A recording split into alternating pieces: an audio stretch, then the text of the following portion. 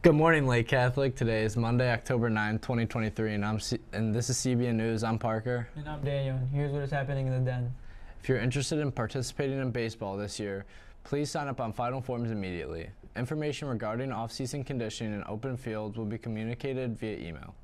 If you're unfamiliar with Final Forms or need assistance signing up, stop by the athletic department located in Senior Hall during your lunch period. If you are interested in playing softball in the spring, please join us on Wednesday for open fields at 4 p.m. All are welcome, new and returning softball players. If you have questions, please stop in the athletic office for Coach Galloway's contact info. Lake Catholic Girls Lacrosse will be ho- holding open throws for all new and returning players every Tuesday and Thursday in October on the grass next to the building from 3:45 to 5 p.m. This is a great chance for returning players to shake off the summer rust and new players to get a head start on lacrosse before the season starts in February. Anyone considering playing girls lacrosse this upcoming spring should come out to meet the coaching staff and enjoy some beautiful fall weather. It's October time. We are off to a slow start. Here are your totals thus far. In last place are the freshmen. Zero pairs of socks have been turned in. Next are the seniors with five pairs. In second place are the sophomores with seven pairs. And in first place are the juniors with 25 pairs. As of today, Mr. Uranker and Mr. Epic's homeroom has the lead for donuts for next week. Can anyone beat them? This is our second week for collecting. Please give your socks or money to either of your homeroom teachers. Tomorrow, Tuesday, October 10th, Cornhole Club will take place from 2:45 to 4 p.m. All those signed up to play cornhole meet Mr. Pizza and Miss Riddler in the atrium. Now let's check in with Anthony to see what's happening in the Cardinal Credit Weather Center.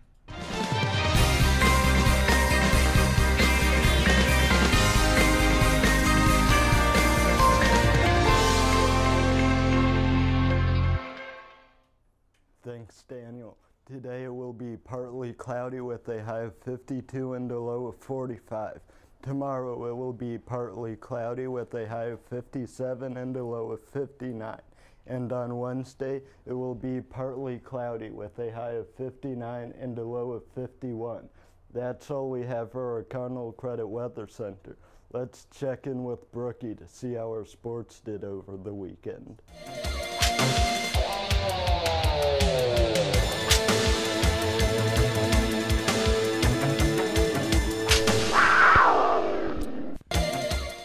Thanks, Anthony. Over the weekend, our varsity football team faced Erie.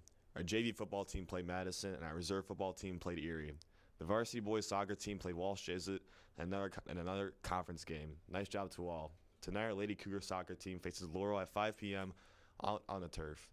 Come and support. Let's take it back to Parker at the news desk.